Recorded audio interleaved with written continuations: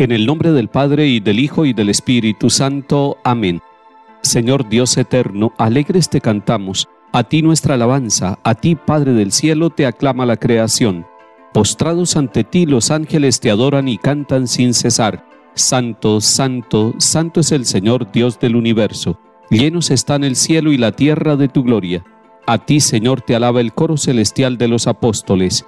La multitud de los profetas te enaltece y el ejército glorioso de los mártires te aclama.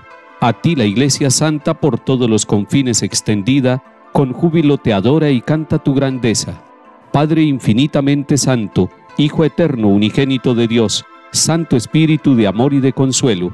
Oh Cristo, tú eres el Rey de la gloria, tú el Hijo y palabra del Padre, tú el Rey de toda la creación. Tú para salvar al hombre tomaste la condición de esclavo en el seno de una virgen Tú destruiste la muerte y abriste a los creyentes las puertas de la gloria. Tú vives ahora inmortal y glorioso en el reino del Padre.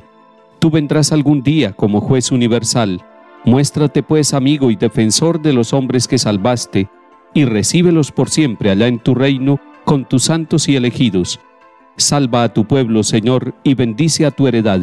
Sé su pastor y guíalos por siempre. Día tras día te bendeciremos y alabaremos tu nombre por siempre jamás. Dígnate, Señor, guardarnos de pecado en este día. Ten piedad de nosotros, Señor, ten piedad de nosotros. Que tu misericordia, Señor, venga sobre nosotros como lo esperamos de ti. A ti, Señor, me acojo, no quede yo nunca defraudado.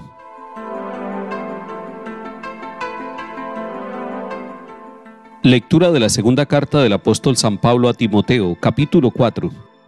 Querido hermano, Dimas, enamorado de este mundo presente, me ha dejado y se ha marchado a Tesalónica. Crescente se ha ido a Galacia, Tito a Dalmacia, solo Lucas está conmigo. Coge a Marcos y tráelo contigo, pues me ayuda bien en la tarea.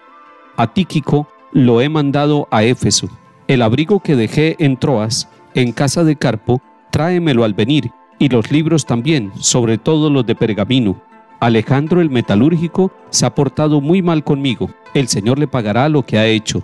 Ten cuidado con él también tú, porque se opuso violentamente a mis palabras. La primera vez que me defendí, todos me abandonaron y nadie me asistió. Que Dios los perdone, pero el Señor me ayudó y me dio fuerzas para anunciar íntegro el mensaje, de modo que lo oyeran todos los gentiles. Palabra de Dios. Te alabamos, Señor.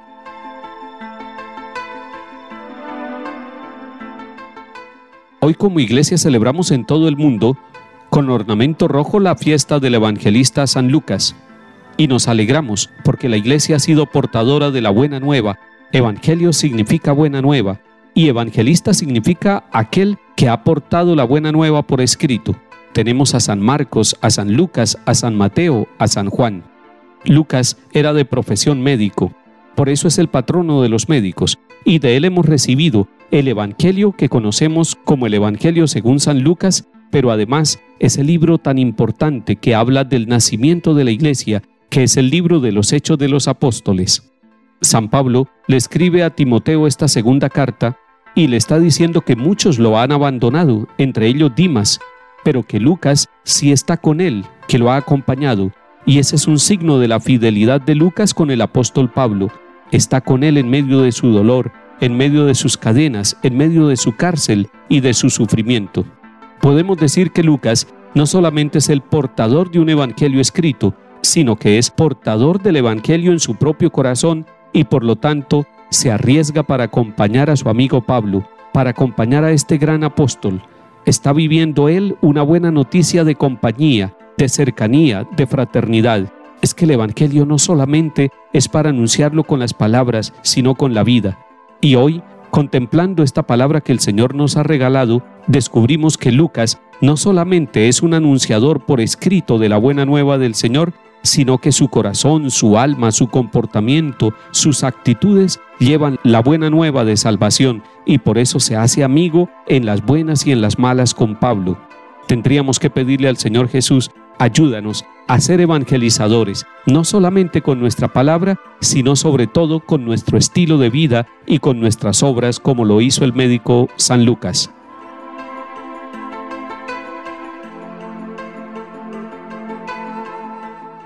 Salmo 144.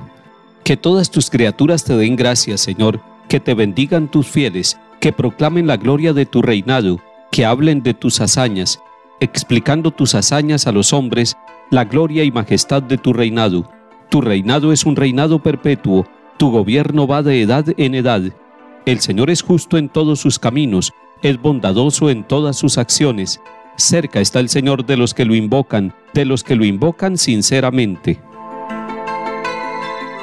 Lectura del Santo Evangelio según San Lucas capítulo 10. En aquel tiempo designó el Señor otros setenta y dos y los mandó por delante de dos en dos a todos los pueblos y lugares a donde pensaba ir él, y les decía, La mies es abundante y los obreros pocos, rueguen pues al dueño de la mies que mande obreros a su mies. Pónganse en camino, miren que los mando como corderos en medio de lobos, no lleven talega, ni alforja, ni sandalias, y no se detengan a saludar a nadie por el camino. Cuando entren en una casa digan primero, paz a esta casa, y si allí hay gente de paz, descansará sobre ellos su paz. Si no, volverá a ustedes. Quédense en la misma casa, coman y beban de lo que tengan, porque el obrero merece su salario. No anden cambiando de casa. Si entran en un pueblo y los reciben bien, coman lo que les pongan, curen a los enfermos que haya y digan, está cerca de ustedes el reino de Dios. Palabra del Señor. Gloria a ti, Señor Jesús.